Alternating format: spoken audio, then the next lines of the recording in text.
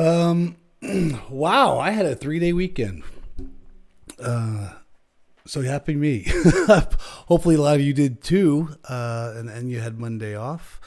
Uh, I, I I did a I did so much this weekend. I obviously happy Father's Day, belated Father's Day to to those uh, those fathers out there. I uh, I spent wow like th- this amazing weekend. First of all, I saw Kid Rock on Friday night, which is mind blow was mind blowing, uh, and uh, I've been a Kid Rock fan for a long time. and Enjoyed his music, uh, and and got a chance to listen to him for the first time. And he still puts on a on a really good show. Saturday we had a a, a pool party here at the house with a bunch of friends. Sunday obviously was Father's Day, and we kind of just hung out and went to dinner. And then Monday, I went to uh, a national forest and, and we did some 4x4 and off road, which was a lot of fun. My Jeep is really dirty now. um, but man, what a jam packed weekend. And uh, I know that's not why you tuned in to find out what I did this weekend, but you, you'd be jealous if you were, uh, if you if you knew that. So uh, maybe that's why I didn't tell you. Or you'd have had a lot of fun with me if you'd have been. But um, I I just I can't get over how great of a weekend it is, and and just something else I can't get over is is something that Zoom announced last week uh, was Mio Mio integration, and wow, eh, full disclosure, I I do work for Zoom. I am a full time employee of Zoom, and I um I am not a spokesman for Zoom by any means. I I'm certainly not a a figurehead of any kind. I just I'm just kind of a nerd and I just kind of like to play with cool stuff. And a lot of times that involves Zoom, much like it does today. Uh, and and what Mio, uh, the announcement between Mio and Zoom, and honestly, uh, Slack and WebEx and uh, and Teams as well. What what is what is Mio, Patrick? I'm gonna give you a little background. Remember, you probably don't, but because I'm gray hair, I do. Remember back in the day when when texting first came out on phones our SMS first came out on phones. Do you remember that? And it wasn't universally adopted, uh, at least not in the US, because a lot of times texting was very siloed. Meaning, like if you were on Sprint, you could you could text a Sprint user, but you couldn't text a Verizon user. And if you were on Verizon, you couldn't text an AT and T user. So it wasn't really adopted because it, it was kind of very limited in, in scope. Not until everyone basically said, texting super cool. We should be able to do this with any carrier over any network anywhere in the world. Did the did the exponential growth of texting take off? Same with faxing, same with email, same went out with chat actually. Chat's the new chat's the new communication standard for enterprises and consumer. Whether it's texting on the phone or chatting from uh, an application on your desktop or laptop or mobile, chatting Texting is the way we communicate now, more so than email, more so than phone calls, more so than faxes, obviously, more so than in person, more so than obviously physical mail. Chat's the way we do it. It's very informal. There's a standardized Giphies and and, uh, and an informal nature to overall chat. It, it can be across boundaries, can cross consumer, cross enterprise it's really the way we communicate as a society today is chat and texting first. We still obviously call, we still obviously see people in person, we still have obviously virtual meetings. But informally, to get things done, we chat first in the enterprise space. Well, at Zoom, we do. And full disclosure, I used to work at Microsoft for 14 years. And as soon as Teams really took off and chatting took off within the Teams function, email also so also declined, right? So chatting up, email down. That's the behavior we typically see in the UCaaS space. Do people still email? Yes. Obviously, that's not what I'm saying. But I'm saying they email less and chat more. When everything used to be email, it is now chat, right? And so a lot of times, I, these are not Gartner level, Forrester level, Wainhouse level numbers. This is Patrick Kelley's uh, life numbers, and I'm just making these up. It feels like to me, I've personally probably dropped my email percentage to by 80% since chatting came out. There's some days I don't even send an email. I've, so, of course, still read them most of the time. There's some days I don't even send an email. That's powerful. That's powerful because I chat all day long, both internally and externally. So what I'm saying is once chat was once texting and SMS was adopted worldwide by every single carrier and every single vendor, it became exponentially useful to everyone in the world, enterprise consumer. Yesterday, and I put that in quotes, yesterday, if I was on a chat client, I could only chat with that client.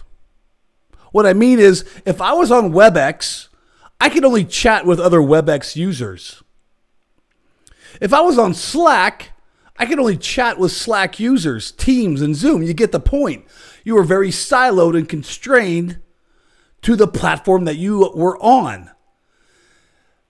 If you haven't seen me talk, you know that one of my biggest things that I push in the world today in IT is choice. No longer are we in the 80s and 90s anymore where we had this draconian IT methodology where we pushed out one thing and you got it for the next three to five years, whether you liked it or not, you used it. Don't care what you think or thought or like, just use it. We don't live in that world anymore. Today we live in choice. Today, a lot of CIOs I talk to, a lot of CTOs I talk to, again, not a universal uh, standard, but a lot of CTOs and CIOs that I talk to, he or she are providing choice to their end users because their customers, if you're a CIO, CTO, your customer is your end user. And you got to make them happy. and by you make them happy, by giving choice.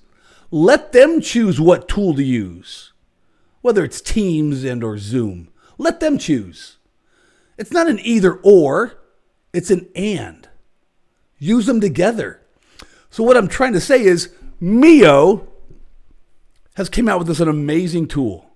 And this tool is allowing you to have choice in whatever chat platform you choose. And you'll be able to not be constrained any longer. You're not going to be able to be siloed any longer. I'll pick the two probably biggest ones in the industry today, biggest UCaaS providers. I'm not taking anything from WebEx or Slack, but Teams and Zoom, probably the biggest providers of this UCaaS choice today. And I've worked for both companies. and I have the ability to show you what it looks like.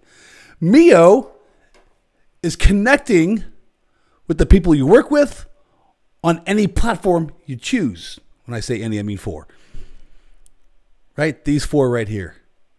These four right here WebEx, Slack, Teams, and Zoom. The four probably most powerful UCaaS solutions out there today. Now you are no longer being siloed into Slack, Teams, WebEx, or Zoom when you're chatting with somebody. Today, with Mio and the integration that Zoom and Mio launched, you are no longer restricted into being in teams and texting and chatting with other people in teams. You can now chat, hold your horses here, chat with other users inside your organization that might have WebEx or Slack or Zoom. You now have choice as a user what chat platform you want to use. Mind blown. It doesn't matter. Mio allows this integration to take place between the four biggest providers of chat. So you as an enterprise, you as a consumer can now have choice of what platform works best for you. Because let's be 100% transparent here. Every single platform doesn't work 100% for 100% of the people.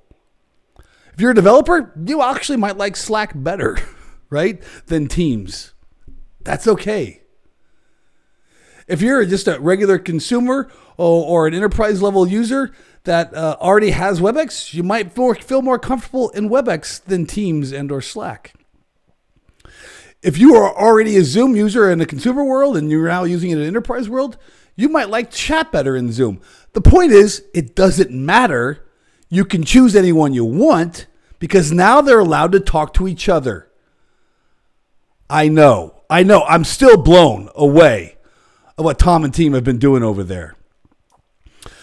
Well, thankfully, Jake over at Mio has set up a couple of um, test accounts for me. And I wanted to show you this is a longer video, and I apologize. You don't have to watch it. so maybe I don't apologize. You can hit fast forward, it's okay.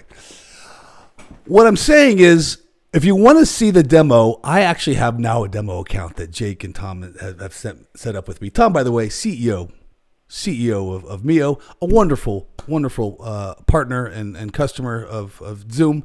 Uh, really, his team has pushed out this amazing product, and I just I can't say enough about it.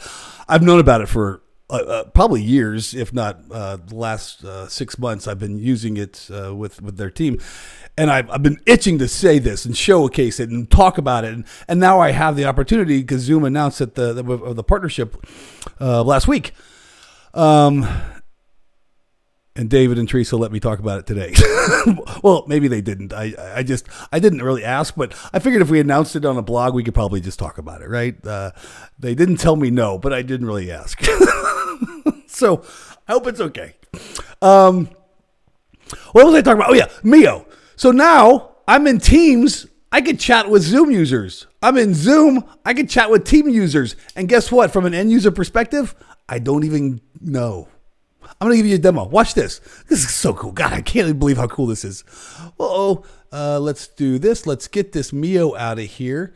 Let's get that out of here, and let's go to boom, and boom. Whoo!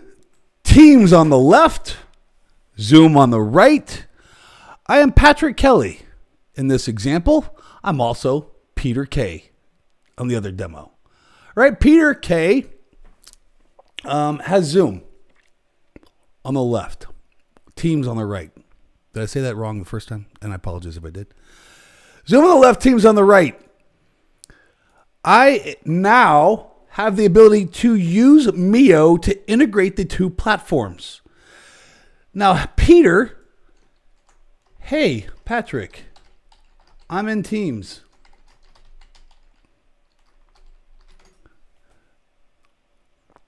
That's mm-hmm. Did you see that? Hey Patrick, I'm in Teams, but that's not right, is it? Because actually, Patrick is in Zoom. So I just sent a text message from Zoom to Teams. Look at that. Hey Patrick, I'm in Teams. Hey Patrick, I'm in Teams. Look at that. It looks the exact same. Watch this. Watch this. Patrick, I, I'm in Zoom actually. I'm editing it now.